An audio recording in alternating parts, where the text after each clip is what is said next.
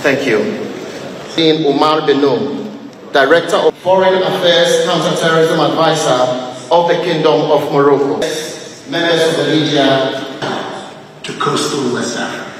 2017 as a mechanism for racial cooperation between members of the